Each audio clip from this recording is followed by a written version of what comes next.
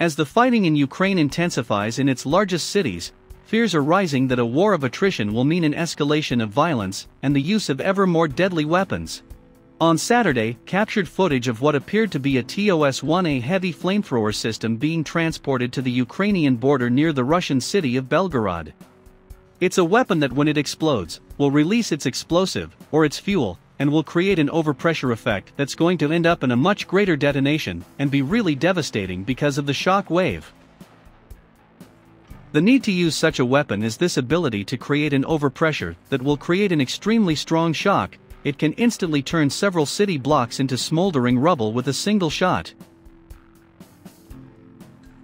However, how dangerous is the TOS-1A weapon? The TOS-1A is a heavy flamethrower system equipped with 24 220mm 30 barrel, it is a multiple rocket launcher system and thermobaric weapon mounted on a T-72 tank tracked chassis. The thermobaric munitions release a large cloud of flammable gas and cause massive explosions. It is used to clear out buildings, bunkers, and other fortifications. The TOS-1A has a firing range from 400 m to 6000 m. A full salvo will devastate an area of 200 x 400 meters, killing by overpressure, burns, and suffocation. The TOS-1A is used to clear out buildings, field fortifications, and bunkers. It is also effective against light armored vehicles. The heavy flamethrower system is generally similar to multiple launch rocket systems, however it fires different types of rockets and has a shorter firing range. The thermobaric munitions are those munitions that by design, produce more heat and overpressure than conventional explosives by exploding a vapor in the blast zone.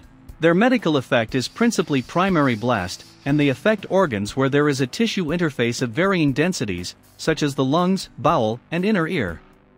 The damage manifests itself in the severity and onset of occurrence, depending on the distance from the blast and orientation of the victim. Nicknamed Buratino in reference to the Russian version of Pinocchio, because of its long, pointed nose the TOS-1 is a 24-tube 220mm multiple rocket launcher and one of the most fearsome weapons in Russia's arsenal. Buratino can obliterate a roughly 200 m by 400 m area with a single salvo.